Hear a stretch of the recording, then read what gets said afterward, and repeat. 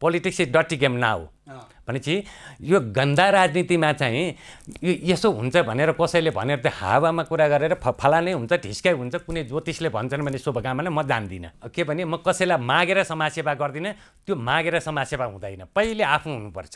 नेपाली भाषा बोल्दैमा तिमी नेपाली हुँदैनौ नेपाली दिल रोएको देख्दा तिमी त रुँदैनौ। तर के हुन्छ त्यो महासागरमा डुबेर मर्नेले महासागरलाई दोष लाउँछ। महासागरमा मोती भेटाउनेले महासागरलाई चाहिँ प्रशंसा गर्छ। मलाई प्रचार गर्नु छैन। ज्योतिष हेरेर खानु पर्दैन मलाई। कसैलाई फुस्ल्याएर झुक्याएर ठगेर खानु छैन। जन्मेपछि मर्छन्। किनभने मेरो आँखा अगाडि नमरे पनि मेरो छोराछोरी त मर्छन्। डेफिनेटली मर्छन्। त्यो ध्रुव सत्य हो। भनेपछि मेरो कारणले कुनै पनि जीव नमरोस्। मेरा सन्तान नमरुन् भन्नको लागि मैले बिहा नगरेको।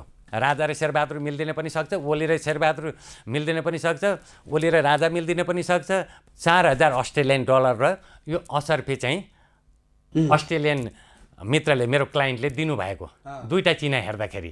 अब त्यति बेला बुवा हजुरबुवाले वेद पढ ज्योतिष पढ भन्दाखेरि ए म पढ्दिनँ भन्थेँ। अनि मैले बाइबल पनि पढेँ मैले भित्रबाट रिसर्च गर्थेँ के हो? भनेर अर्काको हावामा लागेर पढ भनेर किन पढ्ने बुझेर पढ्ने हो भनेर। मैले पाँच वर्ष वडा अध्यक्ष हुँदाखेरि एक पैसा पनि मलाई अगाडिको वडा अध्यक्षले मलाई हिसाब दिएको छैन।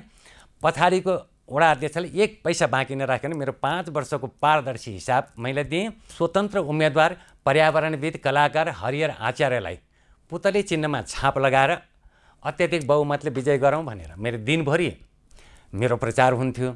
बेलुका चाहिँ सूर्यलाई छाप किनभने कङ्ग्रेसलाई पनिसमेन्ट मेरो धर्म भन्ने मानवता मेरो के भने संस्कार हिन्दू हो। धर्म हिन्दू हुँदैन। धर्म एउटै हुन्छ न क्रिस्चियन हुन्छ न हिन्दू हुन्छ न बुद्धिज्म हुन्छ। दर्शकवृन्द नमस्कार। केन्द्रबिन्दु टक सोमा यहाँहरू सम्पूर्णलाई स्वागत गर्छु। म कार्यक्रम प्रस्तुता मनोज न्यौपाने दर्शकवृन्द आजको केन्द्रबिन्दु टक सोमा अलिकति फरक व्यक्तित्वसँग म प्रस्तुत हुँदैछु र आज मसँग हुनुहुन्छ एउटा राजनीतिक पृष्ठभूमिबाट आउनुभएको। तर पछिल्लो समय चटक्कै राजनीति छोडेर ज्योतिष शास्त्रसँग रमाइरहनु भएको ज्योतिष कला क्षेत्रसँग पनि एकदमै निकट रहनुभएका कलाकारका रूपमा पनि उहाँ कहीँ कतै देखिँदै आउनुभएको छ। मसँग हुनुहुन्छ ज्योतिष गुरु हरिहर आचार्य। आउनुहोस् उहाँलाई हाम्रो कार्यक्रममा केन्द्रबिन्दु टक सोमा स्वागत गरौँ। स्वागत छ गुरु यहाँलाई। धन्यवाद मनोजी। यो केन्द्रबिन्दु टेलिभिजनमा मलाई आफ्नो विचार राख्ने मौका दिनुभएकोमा। अब तपाईँ ज्योतिष होइन? पछिल्लो समय। तपाईँलाई ज्योतिष हरिहर आचार्य भनेर चिन्छन्। यो तपाईँको लवत छ नि जुन पोसाक यो माला अनि त्यस पछाडि विभिन्न खालका लाउनु भएको छ होइन? यसको बारेमा भनिदिनुहोस् न। यो यो तपाईँले किन यो धारण गर्नुहुन्छ होइन? तपाईँको जुन यो कपालको स्टाइल छ दारीको स्टाइल छुट्टै छ होइन? नाकमा फुली पनि छ होइन? एउटा ज्योतिष अनि त्यस पछाडि हातमा अब हेर्ने हो भने एकदमै धेरै औँठीहरू राख्नु लाउनु भएको छ बाला छ। यसको अलिकति थोरै। अब यो यस्तो हो के भने म चाहिँ एउटा समाजसेवी र स्वतन्त्र विचारको मान्छे। म आफूले जब चिन्छु कि म कुनैसँग पनि सरकारी ह्युमानिटी मानवतासँग सम्बन्धित मेरो धर्म भन्ने मानवता मेरो के भने संस्कार हिन्दू हो। धर्म हिन्दू हुँदैन। धर्म एउटै हुन्छ न क्रिस्चियन हुन्छ न हिन्दू हुन्छ न बुद्धिज्म हुन्छ। संस्कार चाहिँ कुन भन्दा म हिन्दुज्मको संस्कारबाट आएको। मानवता धर्म भएको हुनाले फ्रिडम भन्छ। यसले भनेको स्वतन्त्र कोही पनि मान्छे कसैबाट बाँधिएर बसेपछि त्यो विस्फोट हुन्छ कि स्वतन्त्र भएर जिउनुपर्छ भन्ने कुरा। अब जस्तो यो मेरो हबी हो। म कलाकार पनि भएको कारणले यो लाएर ज्योतिष बन्नको लागि लाउनुपर्छ र ज्योतिष बनेर लाएको होइन। मेरो स्टार्टिङदेखि नै जस्तो मैले यो फुलीको कुरा गर्नुभयो यहाँ मनोजजीले। अँ। मैले पैँतालिस छयालिस साल अगाडि। आजभन्दा करिब हाफ सेन्चुरी आधी शताब्दी अगाडि लोग्ने मान्छेले फुली लाएर यस्तो इयरिङ लाएर हिँड्दाखेरिमा काठमाडौँमै बौला भन्थ्यो मलाई। किनभने म दूरदर्शिता हेर्थेँ।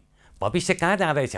त्यो अनुसारले आगामी जेनेरेसनले कतापट्टि जान्छन् र त्यसलाई त्यसलाई चाहिँ मैले प्रेजेन्ट गरेको हो। भनेपछि आज हरेक बच्चा हरेक टिनेजर मेरै जस्तो दारी पनि पालेका छन् मेरै जस्तो फुली पनि लगाएका छन् इयरिङ पनि लगाएका छन्। किन त? त्यो त सत्य रहेछ नि त। हाफ सेन्चुरी पछि त आयो नि त मलाई फलोअप गर्दै भन्ने हो त्यति बेला चाहिँ स्ट्रगल थियो। मेरो चाहिँ स्वतन्त्रता हो मानवता हो यो। यो यो जुन छ नि यहाँ अलिकति काटेको छ होइन? अनि यहाँ चुस्स राखेको छ यता जोडेको छ होइन? यसको चाहिँ केही अर्थ छ? यसको केही अर्थ छैन। के भनेदेखि जस्तो हामीले भूमिका हुन्छ नि अब एउटा मान्छे भएर जन्मिन्छौँ पहिला। अब मान्छे भएर जन्मिसकेपछि त्यो अलिकति बढ्दै जान्छ। बढ्दै गएपछि एउटा परिवारको सदस्य हुन्छ। त्यहाँबाट स्कुलको स्टुडेन्ट हुन्छ। त्यहाँबाट कलेजको युनिभर्सिटीको स्टुडेन्ट हुन्छ। अनि गाउँको जान्ने बुझ्ने हुन्छ। अनि बाउ हुन्छ। छोरा हुन्छ बाउ हुन्छ हजुरबाउ हुन्छ भनेपछि सबै परिवर्तनशील छ भने हामी पनि समयअनुसार परिवर्तन हुन जान्नुपर्छ। अनिखेरि हाम्रो जीवन सार्थक हुन्छ खुसी हुन सक्छौँ। त्यो विचारले मेरो यो आफ्नो हबी हो यो पनि स्वतन्त्रताकै प्रतीक। यो आभूषण सधैँ यसरी लाउनुहुन्छ घरमा बस्दा पनि यो आभूषण पहिरिनुहुन्छ अथवा चाहिँ यसो बाहिर हिँड्दा मात्रै पहिरिनुहुन्छ? होइन विशेष गरेर घरमा पनि हुन्छ केही केही चाहिँ बाहिर जाँदाखेरि अब कस्तो ड्रेसअप हुन्छ अब मलाई अब ड्रेसअप अनुसार चाहिँ यो ज्वेलरीहरू चाहिँ अब घरमा त साधारणमा त भइहाल्छ होइन। तर के भने ड्रेसअप अनुसार चाहिँ मेरो यो हारहरू भयो रिङहरू भयो यो मेरो बेन्जल चुराहरू भयो यो चाहिँ त्यस्तो किसिमको हुन्छ मेरो विचार। अब तपाईँ चाहिँ दुई हजार एकाउन्न सालमा स्वर्गीय कृष्ण प्रसाद भट्टराई किसुनजीको एगेन्स्टमा होइन विद्यादेवी भण्डारी किसुनजी अनि तपाईँ चाहिँ एगेन्स्टमा यहाँनिर संसदमा उठ्नुभएको होइन प्रतिद्वन्दीको रूपमा। के थियो त्यतिखेर तपाईँ चाहिँ किन एगेन्स्टमा चाहिँ संसदमा चाहिँ अ, उठ्नुभएको थियो? उम्मेदवारी किन दिनुभएको? अब यहाँ मनोजीले राम्रो प्रश्न सोध्नुभयो। अब म चाहिँ किन त्यसरी आएँ अहिले किन यसरी बसिरहेको छु भन्दाखेरि म दुई हजार छत्तिस सालको विद्यार्थी आन्दोलन जो पाकिस्तानमा जो बेनेजिर भुटोको बाउलाई जुल्फिकर अली भुटोलाई फाँसी दिएपछि एसियामा चाहिँ राजनीति भड्केको थियो। त्यो बेलामा यहाँ पनि आन्दोलन हुँदाखेरि विद्यार्थी आन्दोलनबाट म राजनीति सुरु गरेँ। राजनीति भनेको समाजसेवा। मेरो समाजसेवाको फिलिङ्स थियो सबैलाई समान देख्ने ह्युमानिटी मानवताको। त्यो होला भनेर म पोलिटिक्समा आएँ। अब आइसकेपछि मैले छत्तिस सालबाट अब छत्तिसको आन्दोलन छत्तिस सैँतिस अडतिस उन्चालिस चालिस। अब चालिस हुँदै जाँदाखेरि छ्यालिस सालमा दस वर्ष मैले विद्यार्थी हिसाबले मैले आफूले राजनीति अगाडि बढाउँदै गएँ सिक्दै गएँ सहयोग गर- गर्दै गएँ। छयालिस सालमा जनआन्दोलन भयो। जनआन्दोलन भएपछि मैले अब चाहिँ बहुदल आएपछि केही हुन्छ। जुन हामीले जुन एउटा यो बहुदलीय समाजवादको सिद्धान्त पढिएको थियो जुन बिपीको सिद्धान्त पढिएको थियो इन्टरनेसनल सिद्धान्त पढेको आधारमा समाजवादी भनेको त धेरै राम्रो रहेछ भनेपछि समाजवादी ल्याउन पर्यो ल्याउन सकिन्छ कि भनेर अब त्यसरी लाग्दाखेरिमा जब अडचालिस सालमा अडचालिस सालमा स्थानीय निर्वाचन भयो। त्यहाँ म वडा अध्यक्षमा उठेँ। म नेपाली कङ्ग्रेसको मेम्बर हो र नेपाली कङ्ग्रेसलाई नै सहयोग गरी मैले छत्तिस सालदेखि। छत्तिस सालको जनआन्दोलन छ्यालिस सालको जनआन्दोलन बयालिस सालको सत्याग्रहदेखिको सबैमा मैले आफ्नो भूमिका निभाएँ। त्यो भइसकेपछि अब जब अडचालिस सालमा अहिलेको जुन राजनीतिक उतार चढाव छ नि जो तरलता त्यस्तै गरी नेपाली कङ्ग्रेसको बहुमतको सरकार कृष्णप्रसाद भट्टराईजी र गिरिजाप्रसाद कोइरालाजीको यस्तै टक्कर अहिले माधवजीको र ओलीजीको टक्कर हुनाले मध्यावधि चुनाव घोषणा भयो त्यो पार्टी फुट्यो। अब अहिले चाहिँ नब्बे र तेइस सय भने जस्तो उति बेला बहत्तर र छत्तिस सय भयो। यतापट्टि बहत्तर र छत्तिस सय हुँदाखेरिमा अब पार्टी फुटिसकेपछि मलाई त पीडा के भने मेरो हजुरबुवाको मामाको छोरा तुलसी प्रसाद पौडेल पहिला चाहिँ नेपाली कङ्ग्रेसको अध्यक्ष सुवर्ण शमशेरको पिए हुनुहुन्थ्यो। भरत शमशेरको एकदम राइट हाइन एकदम जिग्री दोस्त। भरत शमशेर बेनिबहादुरको मेरो बुवा। म राजनीतिक घरानाबाटै आएको हो। तर के भने यहाँ चाहिँ राजनीतिबाट यस्तो द्वन्द्व भइसकेपछि ओहो मेरो त नसा नसामा समाजवादी छ नेपाली कङ्ग्रेसको समाजवादी छ। भनेपछि यी समाजवादीलाई यिनीहरूले फुटाए। अब हाम्रो मेजोरिटी छैन नेपालमा अब कङ्ग्रेसको अस्तित्व छैन म यसरी बसेर भएन। भनेपछि सकेसम्म मिलाउँछु भनेर मैले चाहिँ मिलाउने प्रयास गर्दा नसकेपछि ल तिमीहरू मिल्दैनौ भने म पनि मिल्दिनँ भनेर मैले एउटा सिम्बोलिङ दिएको हो। इलेक्सनमा म जित्छु भनेर गएको होइन। मैले एउटा मेलमिलापको सिम्बोलिङ दिएको। जब यो मिल्दैनन् भनेदेखि अब कङ्ग्रेस चाहिँ पतन हुँदै जान्छ भनेको अहिले के अडचालिस सालदेखि अहिले अठहत्तर सालमा आउँदा अनि दुई हजार एकाउन्न सालमा तपाईँले त्यसरी चाहिँ उम्मेदवारी दिँदाखेरि कृष्णप्रसाद भट्टराईलाई के असर पुगेको थियो? विद्यादेवी भण्डारीलाई के असर पुगेको थियो? मनोजीले बहुत राम्रो प्रश्न सोध्नुभयो। अब मैले त त्यति साह्रो भोट ल्याइनँ। के भनेदेखि अब मेरो कार्यकर्ताहरूलाई के थियो भनेदेखि यिनीहरू कङ्ग्रेसभित्रकै जो फुटेको कारणले मलाई पीडा भयो कि कङ्ग्रेस त उनीहरूको मात्रै होइन। गिरिजा प्रसाद र के अरे हाम्रो चाहिँ कृष्णप्रसाद भट्टराईको मात्रै होइन। मेरो पनि ग्रान्ड फादर फादर त मेरो हो। भनिसकेपछि यिनीहरूले फुटायो भनेर पीडाले गर्दाखेरि मैले भोट कटाउने हिसाबले जाँदाखेरि अब तेह्र सय भोटले विद्यादेवी भण्डारीले जिते। अब तेह्र सय भोट चाहिँ कृष्णप्रसाद भट्टराईले कम भएर हारिए अब त्यो हुँदाखेरिमा मेरो तेह्र सय पचासै भोट आएको होइन।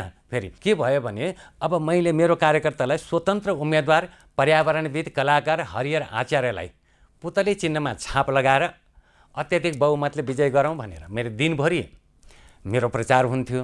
बेलुका चाहिँ सूर्यलाई छाप किनभने कङ्ग्रेसलाई पनिसमेन्ट अब म त के भने अब कङ्ग्रेस मेरो बाउ कङ्ग्रेस भएपछि मेरो बाउ गरिब छ काका बाउ धनी छ अंश खोज्न काका बाउसित त गइँदैन अंश खोज्न त आफ्नै बाउसित गइन्छ नि। भनेपछि मेरो तिन पुस्तेको लगनशीलता चाहिँ कङ्ग्रेसमा थियो। कङ्ग्रेसमा मनोपोली भइसकेपछि मैले त्यो हिसाबले चाहिँ अब एकाउन्न सालबाट ल अब म कङ्ग्रेसमा लाग्दिनँ। मैले कुनै क्रियाशील सदस्य पनि लिएन सदस्य नवीकरण पनि गरेन अनि भोटिङ पनि गरेको छैन मैले आफ्टर एकाउन्न साल भनौँ नेपाली। अनि तपाईँ चाहिँ जस्तो गोदावरी नगरपालिका वडा नम्बर चारमा वडाध्यक्ष चाहिँ कहिले हुनुभएको? दुई हजार अडचालिस सालको स्थानीय निर्वाचनमा। के के गर्नुभयो त्यति बेला? अब यस्तो अब के गर्ने भन्दाखेरिमा अब हाम्रो त वडालाई के नै हुन्छ र होइन सबै त्यहाँ चाहिँ के भने सार्वजनिक जमिनहरू जो सरकारी जमिनहरू हडप्ने आफ्नो कब्जामा लिने र अब जे बनाउँछ त्यो निर्माण कार्यहरू हुन्छ कुलाहरू नहरहरू बाटोहरू बनाउँदाखेरिमा पारदर्शिता नहुने। त्यहाँ चाहिँ आफ्नो र अर्को विभेद देखेँ मैले। विभेद देखिसकेपछि म त मानवता ह्युमानिटी धर्म नै मानवता भन्ने मान्छे। जब विभेद देखिसकेपछि यो त राम्रो होइन भनेर म समानताले आउँछु भनेर म वडा अध्यक्षमा आएँ। अब मलाई दिएको के भने मेरो बाटो बनाउने टाइममा बाटो अब हाम्रो खानेपानीको लागि पाइपिङ। मैले पाँच वर्ष वडा अध्यक्ष हुँदाखेरि एक पैसा पनि मलाई अगाडिको वडा अध्यक्षले मलाई हिसाब दिएको छैन। पछाडिको वडा अध्यक्षले एक पैसा बाँकी नराखेर मेरो पाँच वर्षको पारदर्शी हिसाब मैले दिएँ र मैले गाविसबाट मैले वडा अध्यक्षको आजसम्म एक पैसा भत्ता पनि लिएन गाविसकै विकासको लागि भनेर दिएको छु। अब हामी चाहिँ तपाईँको अहिलेको पेसा होइन? ज्योतिष ज्योतिष विज्ञानतिर चाहिँ किन लाग्नुभयो? अब राजनीति त छोडिहाल्नुभयो त्यतिखेरै। अब प्रश्न त नराम्रो हुने छैन सबै राम्रै छ मनोजीले सोधेको है। अब यो के भने मेरो विरासतबाटै आएको हो। यो पनि राजनीति जस्तै मेरो ग्रान्डफादर चाहिँ पण्डित पुरोहित हो। अनि मेरो फादर बुवा चाहिँ वेदाचार्य जो अठार पुराणको ज्ञाता वेदाचार्य हुनुहुन्थ्यो उहाँ। उहाँ ज्योतिष पनि हुनुहुन्थ्यो। अब हाम्रो विरासतबाटै घर परिवारबाटै पचास साठी पर्सेन्ट त हामीलाई आउँछ। त्यही त्यही भइसकेपछि म चाहिँ के रहेछ लाइफ? हामी किन जन्म्यौँ? कहाँ जान्छौँ? के हुन्छ?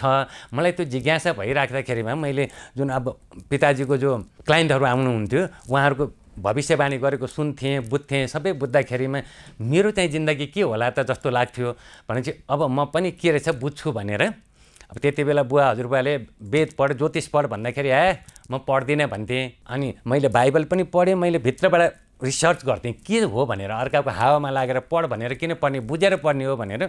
अनि त्यस पछाडि मैले आफ्नै लाइफको बुझ्नेलाई भनेर म एस्ट्रोलोजी इन्डियामा गएँ। अनि त मैले स्वतन्त्र अध्ययन मसित ज्योतिषको ज पनि छैन सर्टिफिकेट। मसित प्रमाणपत्र छैन। कसैले खोज्छ भने सरी। म के भने आफ्नो स्वतन्त्र अनुसन्धानबाट गरेको हो मैले। अनुसन्धानबाट पाँच वर्ष मैले मोटामोटी चार पाँच वर्ष रिसर्च गरेँ अनुसन्धान गरेँ। अनुसन्धान गरिसकेपछि आफ्नो लाइफ कस्तो रहेछ भन्ने पनि बुझेँ।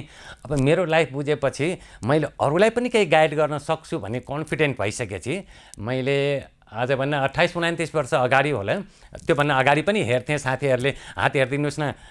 हरिहर सर भन्थे चिना हेरिदिनु न भन्थे त्यत्तिकै हेरिदिन्थेँ मैले। अट्ठाइस उनातिस साल अगाडि मैले चाहिँ अब आफ्नै ज्योतिष हेरेँ। शुभ मुहुर्त निकालेर दस रुपियाँबाट मैले ज्योतिषको चार्ज दस रुपियाँबाट सुरु गरेको। मैले खुसीले मैले माग्दिनँ मेरो चार्ज छैन जति दिनुहुन्छ। अब झुटो किन बोल्ने? हाम्रो चाहिँ नागरिकको अगाडि मेरो दर्शकको अगाडि अब मलाई कति भने चार हजार अस्ट्रेलियन डलर र यो असर्फी चाहिँ अस्ट्रेलियन मित्रले मेरो क्लाइन्टले दिनुभएको। दुईवटा चिना हेर्दाखेरि। भनेपछि अब के भने मैले यो मेरो चार्ज होइन सरी भन्दाखेरिमा अब उहाँले के भन्नुभयो I'm very satisfactory service so गुरुजी यो एक्सेप्ट भनेर मलाई दिएको हो होइन? नाइ भने म त्यसरी लिन पनि मन पर्दैन। मलाई आफूलाई खाना लाउन पुग्ने मैले बनाएको छु मेरो आफ्नो पुर्ख्यौली छ। र मलाई केही घुस भ्रष्टाचार खाने ओर्ने पनि मलाई विकृति देखिसकेपछि मैले राजनीतिबाट छोडिदिएको। ज्योतिषको कुरा गर्दाखेरि अलिकति त देशको भविष्य पनि त भन्नु पर्यो होला नि। अब अहिलेको राजनीतिक उथलपुथल यस्तो छ राजनीति कतातिर जान्छ यसका ग्रह गोचरहरू के छ? ज्योतिष विज्ञानले के भन्छ अहिले? अब यो चाहिँ के भनेदेखि मैले यो ज्योतिष विद्या विज्ञान अनुसार जस्तो सबै नेताहरूको कुण्डली हेरेर मैले रिसर्च गरेको छैन झुटो बोल्दिनँ म होइन? अब समसामयिक देशको हेर्दाखेरिमा देशको अब प्राकृतिक विपत्तिको बारेमा देशको खडेरीको बारेमा बर्सातको बारेमा हामीले केही प्राकृतिक विपत्तिको बारेमा चाहिँ हामीले जुन यो सालको चाहिँ ग्रह दशाको पोजिसन कुन कुन विभाग कुन कुन ग्रहले लिएका छन् त्यसको आधारमा चाहिँ भन्न सकिन्छ। तर राजनीति भनेको डटी गेम हो हाम्रो नेपालमा राजनीतिकै छैन राजनीतिकै छैन अनि कसले जान्छ भन्ने? के थाहा भोलि अब राजा र शेरबहादुर मिल्दिन पनि सक्छ ओली र शेरबहादुर मिल्दिन पनि सक्छ ओली र राजा मिल्दिन पनि सक्छ भनेपछि यिनीहरूको एउटा के छ भने राजनीतिमा इमान्दारिता छैन। No honesty is in politics. Politics is डटी game now. भनेपछि यो गन्दा राजनीतिमा चाहिँ यो यसो हुन्छ भनेर कसैले भनेर त्यो हावामा कुरा गरेर फ फलानै हुन्छ ढिस्काइ हुन्छ कुनै ज्योतिषले भन्छन् भने शुभकामना म जान्दिनँ। म सक्दिनँ। अब तपाईँको बिए गर्नु भएन। बिए गर्नु भएन। गरेन। एउटा चाहिँ तपाईँको आफ्नै कृतिसँग चाहिँ त्यो खालको बिए गरे भन्नुहुन्छ होइन। खास बिए चाहिँ किन नगरे? अब बिहे भन्ने यस्तो हुन्छ बिहे गर्ने नगर्ने भन्दाखेरिमा पनि पहिला त मैले भनिहालेँ अब पोलिटिक्स राजनीति भनेको त नसा। बाउआमै बिर्सिने नसा हो यो। जब नसा लागिसकेपछि बाउआमा बिर्सिन्छ बिहा बिर्सिन्छ पढाइ बिग्रियो मेरो सबै बिग्रियो। किनभने त्यो हुँदा हुँदैमा मेरो अब करियर बनाउने भयो फेरि। त्यसले गर्दाखेरि बिहापट्टि उमेर भएको छैन सोच्ने भने अब हाम्रो त अलिक ढिलै ढिलै बिहा गर्छ विशेष गरेर काठमाडौँमा। अब कसैले छिटो गर्थ्यो तर मैले भनिसकेपछि मैले के गरेँ भने जब पहिला बच्चामा चाहिँ कोही मान्छे मऱ्यो मरिसकेपछि मलाई यसो हेर्न जाँदाखेरि छटपटाएको मरेको पीडा भएको अति पीडा लाग्थ्यो मलाई। ओहो एक दिन त म पनि मर्छु होला है। म पनि मर्छु। त्यस्तै गाह्रो हुन्छ होला। मेरो मनमा आउँथ्यो। मनमा आइसकेपछि अनि न नजन्मिएको भए त मर्दैन थियो होला है यो मान्छे। जन्मेपछि मऱ्यो भनेपछि ए यो बाउआमाले पनि पाप गर्यो यसलाई जन्माएर। यसको बाउआमाले नजन्माएको भए त यो मर्दैन थियो। भनेपछि अबदेखि म कसैलाई मार्दिनँ। भनेपछि म बिहा गर्दिनँ। बिहा गरेपछि छोराछोरी होलान् जन्मिन्छन् जन्मिएपछि मर्छन्। किनभने मेरो आँखा अगाडि नमरे पनि मेरो छोराछोरी त मर्छन्। डेफिनेटली मर्छन्। त्यो ध्रुव सत्य हो। भनेपछि मेरो कारणले कुनै पनि जीव नमरोस्। मेरा सन्तान नमरुन् भन्नको लागि मैले बिहा नगरेको। अनि तपाईँ चाहिँ यसरी प्रकृतिलाई नै च्यालेन्ज दिने नेचरलाई नै च्यालेन्ज दिने। अब बहुत राम्रो। बहुत राम्रो प्रश्न सोध्नुभयो मनोजजीले। प्रकृतिलाई सम्हाल्ने ठेक्का कसले लिएको छ यहाँ? कसैले एग्रिमेन्ट गरेको ठेकदार देखाउनुहुन्छ भने म च्यालेन्ज दिन्न। भगवान्का पालादेखि चाहिँ पुस्ता भनेर यहाँ हामी आइपुग्ने। के भने आफ्नो स्वार्थको लागि मान्छेले प्रकृतिलाई च्यालेन्ज भन्छन्। के भने अब त्यो चाहिन्छ उनीहरूलाई फिजिकल रिलेसनमा त्यसको लागि मात्रै हो। प्रकृतिलाई च्यालेन्ज नदिने भएदेखि अहिले पोल्युसन कस्तो छ वर्ल्ड वाइज घरेलु के छ? एउटा चाहिँ एउटा चाहिँ फल लाग्न पनि त्यसको चाहिँ त्यो दुईवटा फुलको होइन त्यो समागम चाहिन्छ। होइन एउटा भमराले त्यसको चाहिँ भूमिका निर्वाह गरिदिन्छ चाहिँ वायुले त्यसको भूमिका निर्वाह गर्छ अनि तपाईँ चाहिँ त्यसैलाई च्यालेन्ज दिने? होइन च्यालेन्ज होइन यो के भने रियालिटी के हो? वास्तविकता के हो? अब वास्तविकता भन्दाखेरि जलवायु अग्नि पृथ्वी र आकाश पञ्चतत्त्व पाञ्चभौतिक शरीर पञ्चतत्त्वबाट समेटिएर आएको हाम्रो शरीर हो। एउटा के भने एउटा आधार मात्रै बाउआमा हुन्। बाउआमाले बनाउने भएदेखि अब सायद हाम्रो मनोजीको बुवा आमाले पनि मनोजै छोरा जन्माउँछु भनेर जन्माएको त होइन। बाउआमाले हो भनेदेखि त त्यसरी जे भन्यो त्यही जन्माउनु सक्नुपर्ने। मलाई पनि मेरो बुवा आमाले हरिएर आचारै मै जन्माउँछु भनेर जन्माएको होइन। थियो उहाँहरूको इच्छा थियो आकाङ्क्षा थियो शारीरिक चाहना थियो एउटा माध्यम उहाँहरू हुनुभयो। नै भने प्रकृति भनेर के भने मान्छेले चाहिँ आफूलाई तपाईँलाई चाहिँ शारीरिक आकाङ्क्षा आएन। आएन। आएन। अब तपाईँ चाहिँ कलाकार कलाकारितातिर पनि हुनुहुन्छ होइन? पहिले त तपाईँले अहिलेसम्म ज्योतिष शास्त्र अनुसार ठुल्ठुला मान्छे क कसको चाहिँ ज्योतिष हेर्नुभयो उनीहरूको भविष्य क कसको हेरिदिनु भयो अब त्यो चाहिँ यस्तो हुन्छ होइन? अब मैले भन्दाखेरि अब उहाँहरूले भन्छ भन्दैन चित्त बुझ्छ कि बुझ्दैन होइन? अब मसित म रेकर्ड हुन्छ रेकर्डेड हुन्छ कति होइन? मैले अब कला क्षेत्रमा पनि अब सबैभन्दा ठुलो भन्ने को भन्दाखेरि डिरेक्टर र हिरो हिरोइन? तिनीहरूको हेरेको छु नाम नलिउँ जोसुकैको होस्। तिनीहरूसम्मको हेरेको छु। अब राजनीतिमा हेर्दाखेरि भूतपूर्व प्रधानमन्त्री पार्टीका अध्यक्षसम्मको हेरेको छु। नाम भन्नु न त्यो त हुन्छ नि। होइन जरुरी छैन। किनभने त्यो किन कन्ट्रोभर्सीमा आउने होइन? के भने म त्यो मलाई प्रचार गर्नु छैन। ज्योतिष हेरेर खानु पर्दैन मलाई। कसैलाई फुस्ल्याएर झुक्याएर ठगेर खानु छैन। कोही इन्ट्रेस्ट छ नि इच्छा लिनुहुन्छ। मेरो विद्यामा विश्वास गर्नुहुन्छ स्वागत छ। विश्वास गर्नु हुँदैन जरुरी छैन। म प्रचार गर्दिनँ। त्यही भएर म नाम लिन्न। अब यतापट्टि प्रहरी प्रहरी सेक्टरमा चाहिँ एआइजी आइजिपीसम्मको हेरेको छु। अब नाम नलिउँ। अब यतापट्टि आर्मीपट्टि दुई तारे तिन तारेसम्म जर्नलको हेरेको छु जर्सापहरूको। अब धनीमा अब करिब करिब तिनीहरूले काठमाडौँ भ्याली किन्न सक्नेसम्मको धनी मान्छे पनि हेरेको छु। अब के भने गरिबमा अहिले खान नभएर मलाई पचास रुपियाँ पनि राख्न नभएर मैले त्यो पचास रुपियाँ चार्ज पनि बच्चालाई दुध किनेर खुवाउ भनेको त्यस्तो मान्छे पनि आएको छ मेरोमा। भनेपछि अब महासागर हो। अब महासागर अब मनोजीले कस्तो राम्रो प्रश्न सोधेको छ भने महासागरमा को आउँछ को आउँदैन भन्ने कुरा आउँछ। एउटा त्यो हिमालयको कन्दराको एउटा सानो तुरतुरे धारा पनि महासागरमा पुग्छ। हाम्रो कोशी गण्डकी कर्णाली पनि पुग्छ। इन्डियाका गङ्गा यमुना सरस्वती पनि पुग्छन्। भनेपछि के भने महासागरमा लाइक फर इक्जाम्पल फेरि मैले म महासागर भन्न खोजे होइन है। होइन। त्यस्तै त्यस्तै आयो। भन्न खोजेको के भने मसँग सबै आइराखेका छन् भनेपछि अब त्यो महासागरमा पनि यस्तो हुन्छ। किनभने अब मैले त महासागरले त सबैलाई एउटै फल दिन्छ। एउटै उसको नेचर त एउटै हुन्छ। तर के हुन्छ त्यो महासागरमा डुबेर मर्नेले महासागरलाई दोष लाउँछ। महासागरमा मोती भेटाउनेले महासागरलाई चाहिँ प्रशंसा गर्छ। त्यस्तै अब मलाई मेरो स्वार्थ मेरो स्वार्थबाट केही लिने हिसाबले कोही आएका थिए त्यो स्वार्थ पाए गए। अथवा तिनले पनि मलाई बेपकुफ भन्छन्। अथवा कति स्वार्थ लिएर आएका थिए स्वार्थ पाएनन् गए। तिनले पनि बेपकुफ भन्छन्। तर निस्वार्थमा आएका मान्छेले मलाई चाहिँ एकदम सही मान्छन् त्यही भएर अब पाली पाउनको लागि त गाली पनि सहनुपर्छ। मलाई सायद गाली गर्ने पनि छन्। एक एक मिनट। गाली गर्ने पनि छन् के भनेदेखि मलाई हजारजना गाली गर्ने छन्। तर लाखौँजना माया गर्ने छन्। त्यसमा खुसी छु। अब तपाईँ त साहित्य लेखनमा पनि हुनुहुन्छ चलचित्र निर्माणमा पनि लगानी कता कता अनि अभिनय पनि अलिअलि गरेको कता कता होइन यतापट्टिको पाटो पनि छ तपाईँको जीवनमा होइन? अलिकति यसमा पनि खुलाइदिनुहोस् न। के के गर्नुहुन्छ? अब यो ज्योतिष राजनीति छोडिसकेर अरू के के गर्दै हुनुहुन्छ? अब यस्तो कस्तो भने अब म चाहिँ पहिलाबाट चाहिँ अब म पाँच वर्ष मैले आफूले आफूलाई चिन्दाखेरि म जानी नजानी स्टेजमा उत्रिएँ। अब हाम्रो बेलामा चाहिँ मनिटर क्लास लिडर भन्ने हुन्थ्यो। म चाहिँ टु क्लासमा पढ्दाखेरि सिक्स इयर रनिङमा थिएँ। त्यो बेलामा म क्लास मनिटर थिएँ। टु क्लासमा पढ्दा। भने चाहिँ क्लास लिडर भइसकेपछि बालसभा प्रतियोगिता भन्ने हुन्थ्यो हाम्रो शुक्रबार।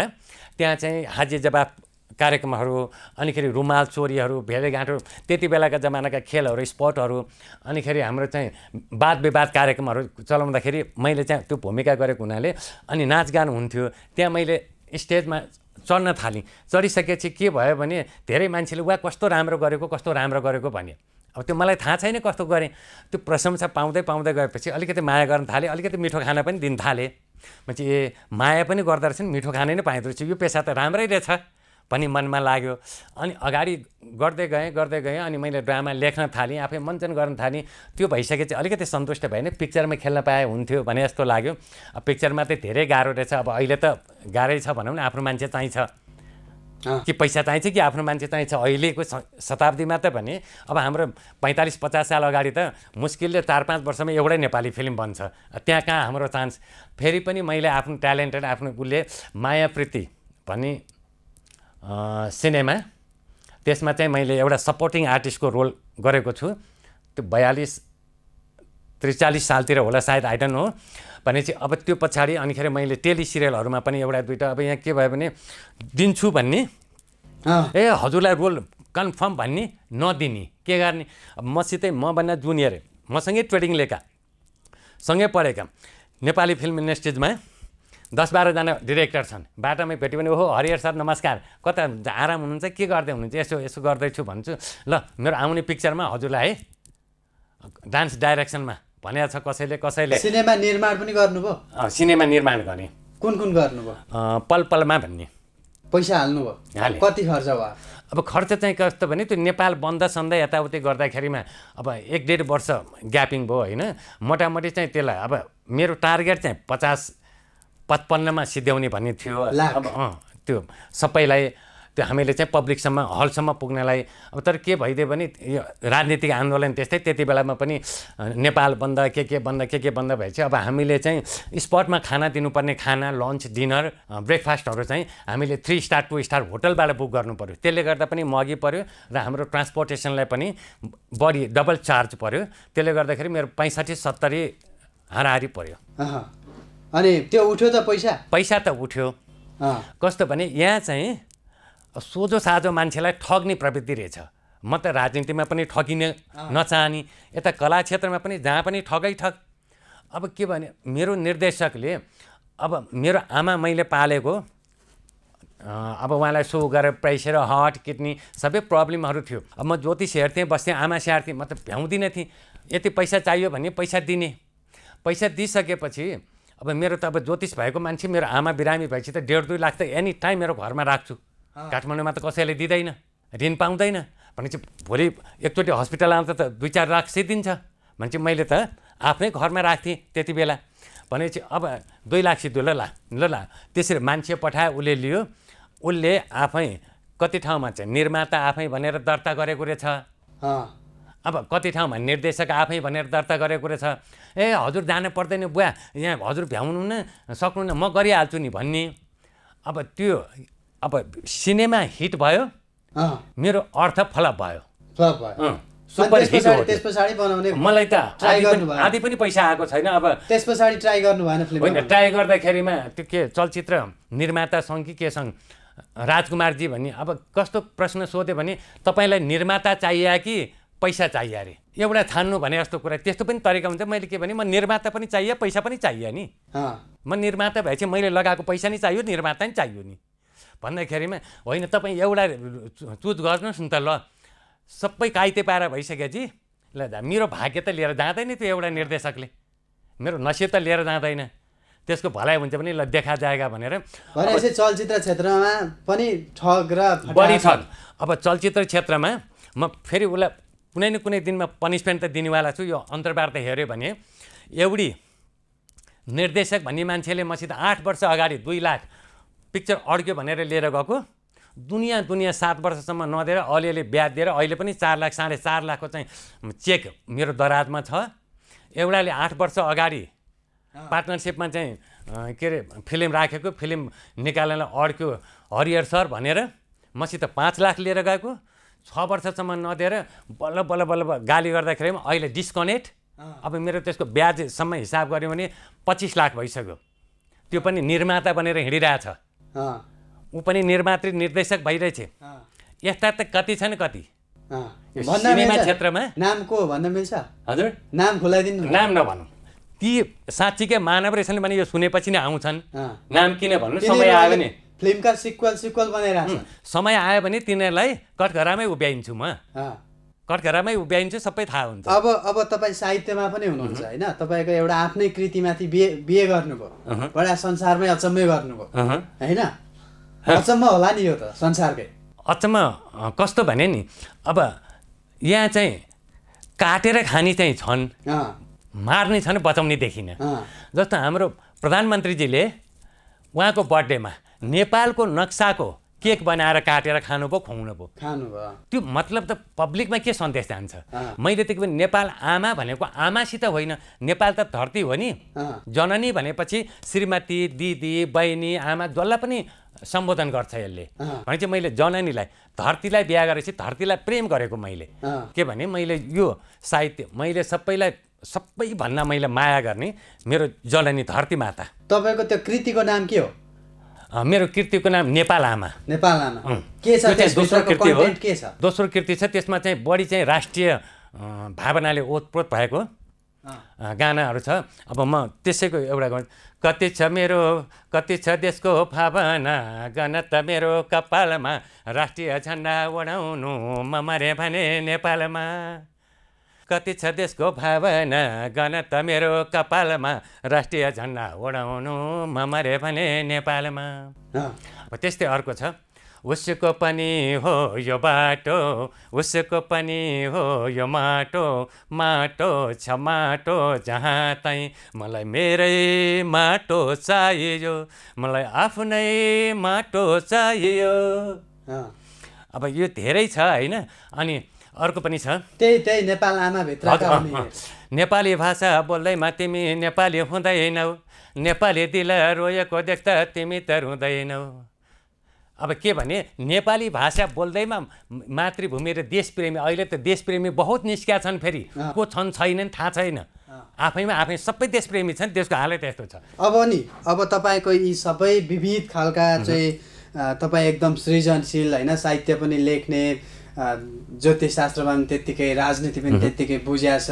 यो लवजले पनि तपाईँको जुन सांस्कृतिक पहिचान होइन अघि सुरुमै भनिहाल्नुभयो धर्म होइन यो एउटा संस्कार हो भनिहाल्नुभयो।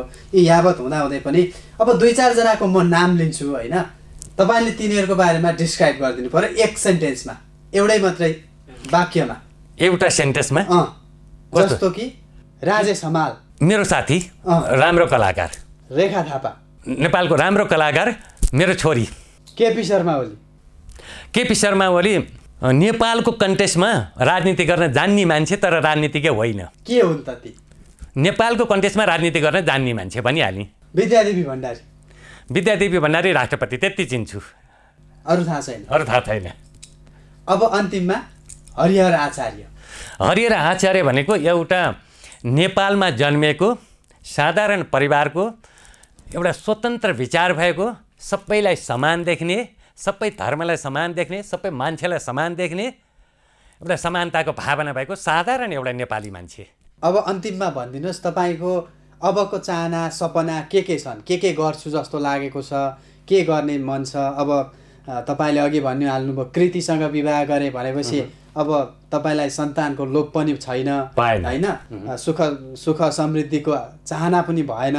समाजसेवा भन्नुहुन्छ होइन? अहिलेको समाजसेवा त्यस्तै खालको छ बजारमा देखिहाल्छ। तपाईँका योजना चाहना इच्छाहरू चाहिँ के छन् त अब? अहिले मैले छुट्याएको एउटा मैले हरिहर आचार्य फाउन्डेसन भनेर रजिस्टर पनि गरेको छु तर त्यो फ्लोरमा छैन किन अहिले मसित पैसा छैन? बाबु विदेश जाने तयारीमा छ क्यानाडा जाने भनेर अध्ययनको लागि उच्च शिक्षाको लागि। त्यहाँ पनि लगानी छ। मैले मेरो हरिहर आचार्य फाउन्डेसन अथवा कुनै पनि समाजसेवाको लागि मैले गोदावरी नगरपालिकाको मेरो नाउँको सात रोपनी जमिन चाहिँ मैले समाजसेवाको लागि मेरो आमा र बुवाको लागि मैले सेक्रिफाइस गरेको छ छुट्याएको छ। मेरो बुवा चाहिँ पैँतालिस वर्षसम्म टिचिङ गर्यो उहाँ हेडमास्टर हुनुहुन्थ्यो। उहाँले शिक्षा दिएको हुनाले उहाँको नामबाट एउटा जति विद्यार्थी पढ्छन् जत जुन स्तरको सक्छु एउटा विद्यालय स्थापना गर्छु र मेरो आमालाई मैले करिब डेढ दुई करोड खर्च गरेर उपचार गरेँ मैले दस बाह्र वर्षमा भनेपछि मेरो आमालाई कति पीडा भएको छ स्वास्थ्यमा र म जस्तो छोराछोरी त हाम्रो नेपालमा त छैनन्। पैसा लाउन सक्दैनन् बिचरा। तिनीहरूको त सिटामल खाने सक्ने स्थिति छैन। त्यस्तालाई एउटा मैले प्रतिनिधिको रूपमा चाहिँ एउटा हेल्थ पोस्ट अथवा हस्पिटल के सक्छु त्यो योजना छ मेरो। त्यो योजना चाहिँ कहाँबाट भनेपछि त अब साठी वर्ष अर्को सालमा हुन्छु भनेपछि अब मेरो त नोकरी छैन सरकारी नोकरी छैन भत्ता छैन कसैले चन्दा दिँदैन केही गर्दैन। भनेपछि यिनै मेरा साहित्य रचनाहरू मैले प्रचार गर्छु। अब यसलाई प्रकाशन गर्ने यसलाई चाहिँ रेकर्डिङ गर्ने गानाको रूपमा यसलाई चाहिँ भिडियोको रूपमा अथवा पुस्तकको रूपमा निकालेपछि यसको बिक्री वितरणबाट आएको जुन अर्थ हुन्छ त्यो अर्थ चाहिँ मैले समाजसेवामा करेन्ट पुँजीको लागि सर्कुलेसनको लागि त्यो आम्दानी लाउने। अब स्थायी पुँजीको लागि मेरो सात रोपनी जमिन त्यही हो उद्देश्य। के भने म कसैलाई मागेर समाजसेवा गर्दिनँ त्यो मागेर समाजसेवा हुँदैन। पहिले आफ्नो हुनुपर्छ। अब मनोजीलाई म जति सात रोपनी जमिन छैन होला सायद काठमाडौँमा। मनोजीले पनि सातै रोपनी दिनुपर्छ होइन।